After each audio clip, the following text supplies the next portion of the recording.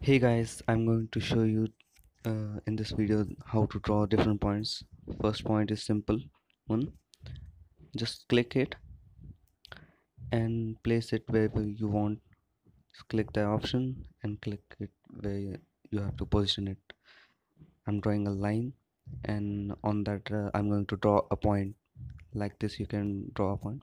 Second one is uh, uh, drawing a point by using coordinates first click on the option then you have to place the coordinates or dimension where you have to uh, point the point. So uh, here's how it will look. You you can change the coordinates accordingly. It's mostly uh, beneficial for geometrical purposes. A third one is equidistance point. You can click the point. Uh, first we have to draw a line or uh, where, where you have to divide the line into several parts. Then click on the option and select the line. And it will divide into multiple points.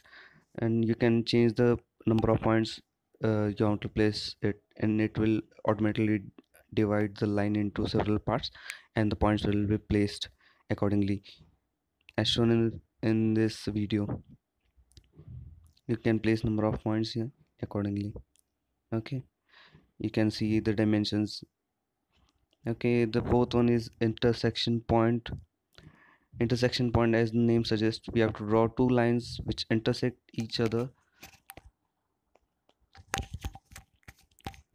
Oh, uh, we have to select first one point the uh, first line and second line and the point will be placed in the center where the two line intersects the fifth one is ellipse. Uh, this is a very important part.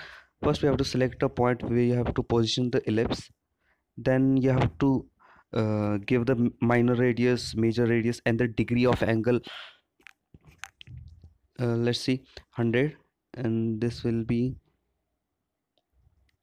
60 and the degree of angle for tilting the ellipse is going to be 45 guess and this is how you can see uh, the ellipse will be placed. Now we'll see the axis line. The axis line is nothing but a construction line or the axis from where we are drawing the uh, sketch. Axis are nothing but uh, center lines and this is a simple way to draw a line. And seventh one is the construction standards.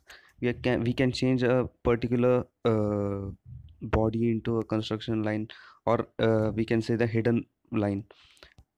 And this is how it will look. We can we have to click on the option construction and we have to select the object and it will automatically get converted into the construction line. And th this is how it will look okay thank you for watching this video. If you like this video please like uh, press the like button. And uh, if you have any queries please comment. And please subscribe to my channel. Let's learn. Thank you all